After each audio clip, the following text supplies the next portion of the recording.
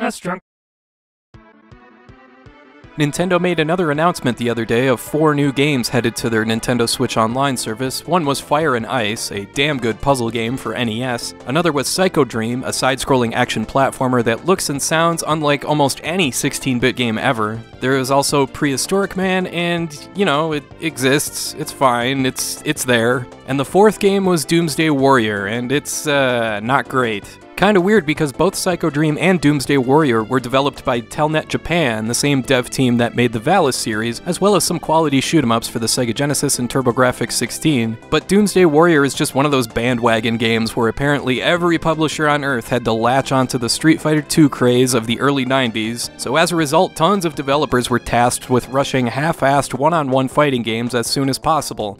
Doomsday Warrior first hits you with a whopping two game modes, normal mode and two player versus, and that's it. In your first fight, the first thing that'll jump out at you is the wonky controls. For one thing, the B button jumps. Yep, that's right, up is not jump in this game, but X kicks and Y punches, and L and R are your block buttons, and that's it. The A button wasn't even assigned to anything, so there's no weak punch or strong punch or anything like that despite utilizing a 6 button controller. And back on the D-pad doesn't automatically block, so there's a lot to get used to here. There are special moves, and they usually consist of holding a direction on the D-pad for a few seconds before hitting an attack button, like how this guy here does a charged dash punch thing, as well as throw a projectile. They're different for each character, but they can be a bit finicky to execute since you can't really be doing anything else while you're holding down a direction. Thankfully, this game does pace itself well enough, so you can dodge or block and avoid attacks, so you can set up your next move. If you're able to hold down a direction long enough before hitting an attack button, you'll set off a full screen attack. Of course, your computer AI opponent doesn't have that limitation and can just throw those at you anytime it wants.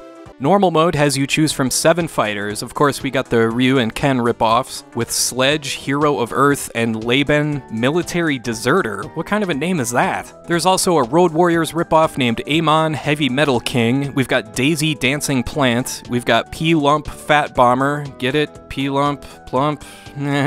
We've also got Grimlock Dizen Lizard. What is a Dizen Lizard? Maybe they meant Dizen Lizard?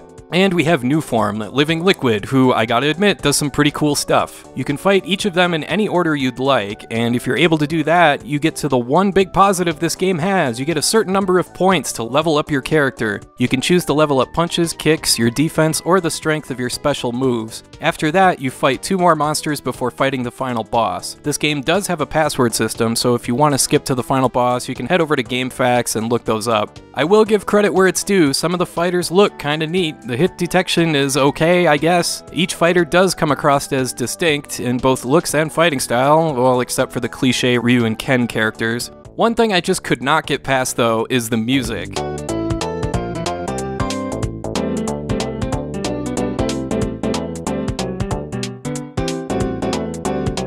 Does this sound like fighting game music to you? What am I, shopping at Joann Fabric? I kept expecting Steve Winwood to start shouting at me to bring him a higher love.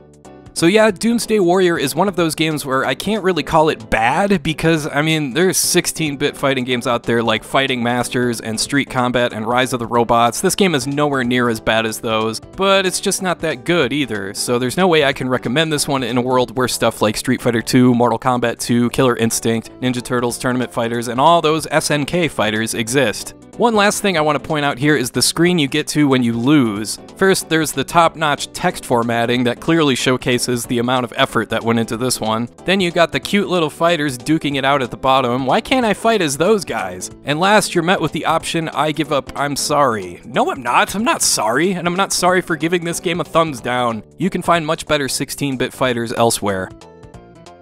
Alright, that's all for now, and I want to thank you for watching, and I hope you have a great rest of your day.